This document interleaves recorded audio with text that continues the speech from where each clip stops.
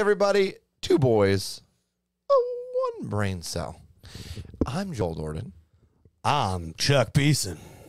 What are we checking out today, bud? Today we're going to check out Cheer by the Descendents. And this was a request that was dropped down in the comments. So uh, shout out to you, whoever you were. Yeah, and I think my favorite part is the fact that we have a song called Cheer Mm-hmm. on the Enjoy album. Yeah, It's just well placed. it is very well well placed. Yeah, I like it. And then the art is a toilet paper roll. What? It's a toilet paper roll. Oh, yeah, the artwork on the album. Yeah. Yeah. I didn't even notice that. Just adds a. That's fantastic. adds some something else to it. Oh, let's send this son of a gun, bud. yeah, I feel like I'm blind right now Why? because I didn't even notice that. And I was looking right at it.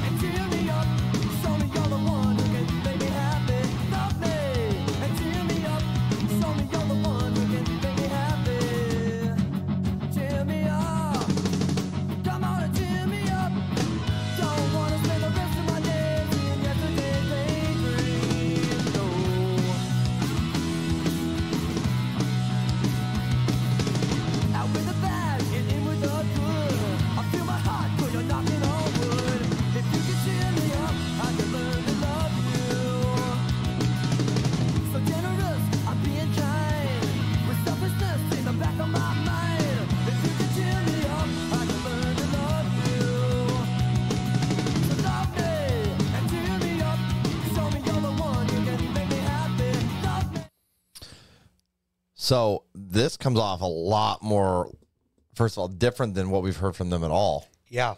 Almost more like a rock song, Yeah. an '80s rock song. This reminds me of a little bit, just a hint. Yeah. But then the drummer is going ham in the yeah. background. Oh, yeah. I'm like, all right. I guess that's the punk element, huh?